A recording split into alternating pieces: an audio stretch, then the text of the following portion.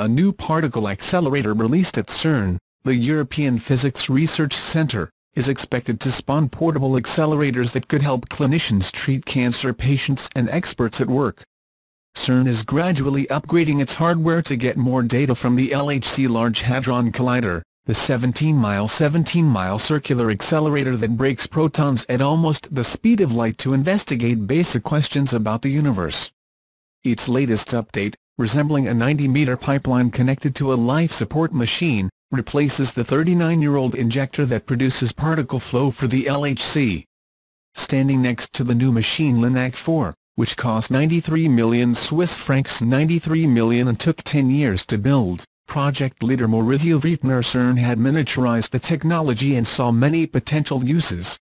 It is a new world of applications in the linear accelerator tunnel from 4 to 12 meters under Geneva. CERN has already built a version for the treatment of tumors with particle rays and licensed the ADAM patent, a spin-off CERN owned by Advanced Oncotherapy. Another medical use is to create isotopes for the diagnosis of cancers.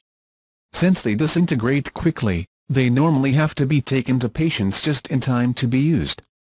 With our portable technology that could be done inside the hospital in Vretenar. Its next objective is a prototype of a meter that weighs approximately 100 kilograms, with which the museums could analyze paintings and jewels. Most of the funding for the project came in a few weeks ago. We are building something portable. We already have a collaboration with the Louvre, and with the Italians in Florence at the Italian Institute for the Conservation of Works of Art. The Louvre in Paris is the only museum in the world that already has an accelerator, and when it is closed on Tuesdays, the artifacts are lowered to the basement for analysis.